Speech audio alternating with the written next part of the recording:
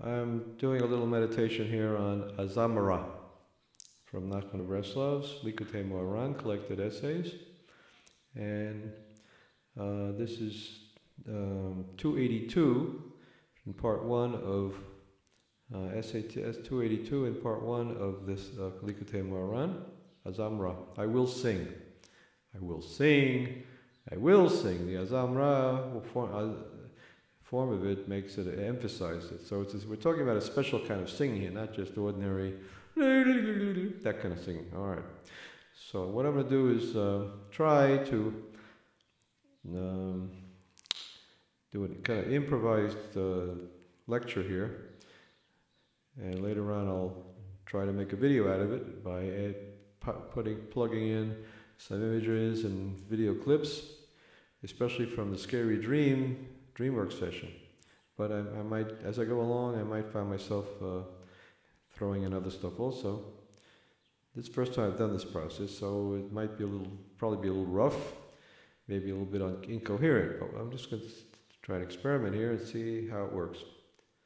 But what I did up to now was taking DreamWork, original DreamWorks, and now and make adding comments to that as I did the DreamWork. Here, I'm starting with the comments and uh, plugging in the dream work, so I'm doing the opposite process, you might say, than uh, than doing a dream. But basically, it's the same same shtick, the same uh, philosophy I'm peddling here. I'm into Nachman of Breslov's uh, point of view here. And okay, here we go. So Zamra, I'm starting on the the. Uh, by the way, I'm using the Breslov Research Institute translation here. I don't know exactly who did the translating. It doesn't. Let's see. It doesn't say here. Um, this is the little pocket book that they put out with uh, Zamra and Ayeh together in one little book, and has the English without the Hebrew. Uh, if I need the Hebrew, I'll I'll dig that out. I have that here also, but maybe I won't need it. We'll see. All right. So I'm, I'm just focusing on individual sentences at first, and to, to and then a little as we go along, I'll see how these sentences come together into uh, bigger, bigger statements, if I find the bigger statements. All right, so in the introduction we have the sentence, but the sanctuary is constructed out of the good points of every Jew. Now, what sanctuary is he talking about? Um, if you look at the scary movie uh, video, you'll you'll see I get into that sanctuary idea pretty deep. So I'm this corridor, and inside of me is going to happen this horror story. Horror story, hmm. Well, all right. I'm just letting it all happen. I'm just letting it all happen. Whatever come happens will happen, you know? I'm just letting it all happen. I'm just I'm just sitting here, I'm the voice that flows forth from Franklyn. I'm just carrying this whole monologue along, you know. I am the voice that comes out of Franklyn. I'm like a big corridor, endless and endless, and uh, through me pass all the beats of the dialectic, everything that goes on. And I am this voice that keeps coming on. The voice, the voice. I am the voice, but I'm not the pure voice. I'm just the, the beginning voice, the monologue. I'm the, ah, I am here we get theological, folks. Sorry about that. I am the sanctuary. You know, Moses stretches out his hand or something, makes a sanctuary. So, in other words, a sanctuary is the here and now process of working on awareness moment by moment, the meditative process, and the words that come out, the words that come out create this bubble of of living experience, this monologue is the bubble, the sanctuary within which holiness could happen. Certainly, it couldn't happen without the sanctuary. It couldn't happen with just everyday cause and effect logic. If I didn't stay here and now, then I would just be, you know, thinking about how much, how much my new computer is going to cost me this week, if I can scrape that money together, and what about this lady and that lady and uh, and stuff like that. But if I'm here and now meditative process, then I am the sanctuary, this flow of phenomenological experience, the here and now moments, which is the bubble of awareness, which is the tent, the holy tent, from which God can send down His word if He wants to. Okay, so the sanctuary. God sends out His hand, Moses sends out His hand, and He creates a sanctuary, something like that. I think it says somewhere in the, in the Bible. Um, the idea is that each moment of awareness, uh, which you get to either by saying I'm aware of something or by identifying with something. For example, if I say I am a butterfly, then that's a way of getting to the inner idea of that butterfly and being aware of the butterfly rather than judging the butterfly or, or analyzing the butterfly, uh, you know, scientifically using deductive logic. Okay, so the sanctuary is, an, is a metaphor here for this inductive process of working with awareness identifications to build up a bubble uh, of awareness, or, or, in biology, somebody named um, uh, von Uexküll calls it the Umwelt. For example, the, the, the phenomenological experience of a fly is his Umwelt. Welt is world. I guess that's his own personal world. Um, so you know, allowing yourself to act like to be like a fly here instead of like a, an intellectual uh, person, and just see where the world uh, from from a fly point of view, or from a bug point, uh, from a worm point of view, or from a um, just uh, seeing it in a simple biological way rather than a sophisticated intellectual way. That is uh, what we mean by induction. So, in a sense, induction is a higher form of uh, seeing perceiving, but it's also a lower form of perceiving. Associated more with the autonomic nervous system rather than the sympathetic nervous system. Okay, so the sanctuary is constructed out of the good points of every Jew. Well, forget Jew here, just a person or a creature even. So that by good points, we mean the points that are associated with the ultimate good, which comes out of all this uh, inductive uh, awareness type process. That's the, what Plato would probably call the good the encompassing overall total enlightenment state that you would get to if you stayed with one dream for the rest of your life and worked on it. Uh, so that good is the, is the ultimate reference point when, he, when he's talking about the good, the good points, points which are related to that good, that ultimate uh, messianic, holistic uh, experience of enlightenment that comes when you, you get rid of all the when you leave the uh, deductions behind and, and, can get involved in a world of inductions. Okay, so that's the Gestalt bubble uh, that comes out of th- uh, five minutes or three hours of dream work.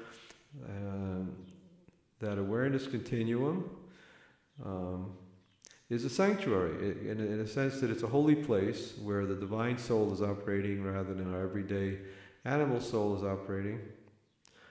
Well, there I just created confusion because I just said that animals like flies are on a higher level, and in here we, in our, in our dopey, uh, narrow, sectarian, uh, one, uh, religious point of view, we want to say that the animal soul, oh, that's our lower side, but actually, from this point of view, the animal soul is the higher side. But that's just going to get confusing. So let's just say the animal soul here, in the conventional sense, is the one that's stuck in and all these uh, rigid distinctions, this, that, and the other thing, deductions, whereas the, um, the divine soul, we're looking at it here, phenomenologically speaking, is the, is the liberated the soul that's uh, involved in inductive logic. Bell Backup is the name of this young lady. Doing a, uh, I'll talk to the camera for a second. So we're doing our awareness exercise for two hours. Uh, and we're starting now. Okay, so what are you aware of now? That's the question we're asking basically for the next two hours. I'm aware of the cool air, my feet on the ground, my tummy because I just ate. My hair tied up. You want physical things, right? I'm not saying, I'm not, I'm being like tar baby, and I'm not answering any questions for the first hour, okay? All right. I'm just asking the basic question and you make, what are you aware of and what does that question mean to you and answer it that way.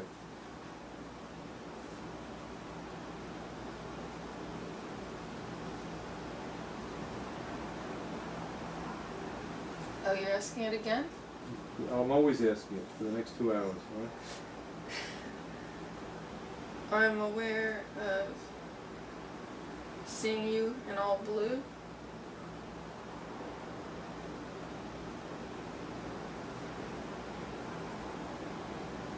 I'm aware of feeling a little bit anxious. Because, I don't know, I've never done this.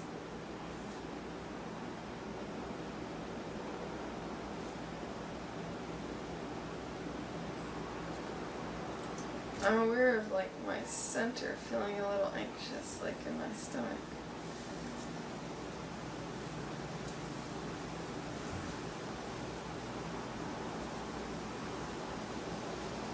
You want more? Um,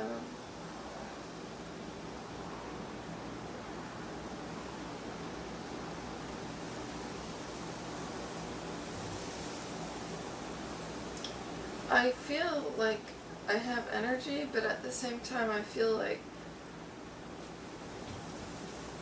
my energy's zapped, and I feel like that often.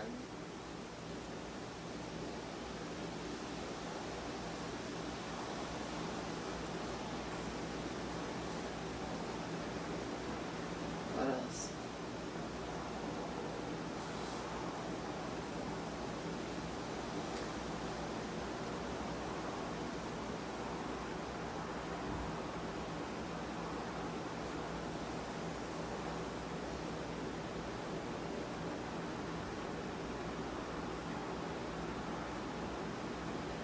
Uh, I'm aware that my eyes probably look red because I have some sort of irritation. It might be soap or something that happens every so often where I think especially this one, it's red.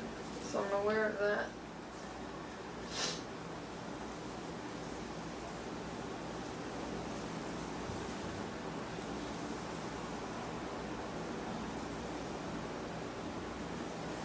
I'm aware of feeling a little bit icky. I don't know.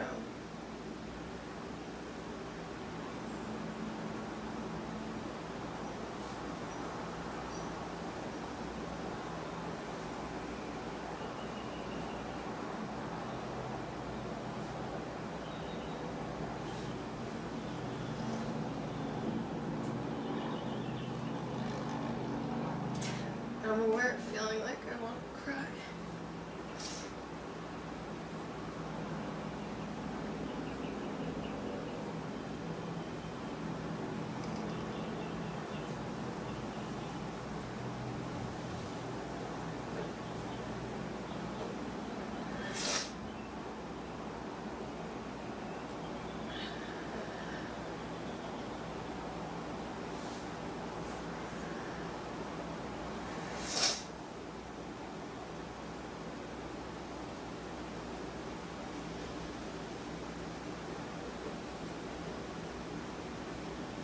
I feel, I'm aware of feeling embarrassed that I cried.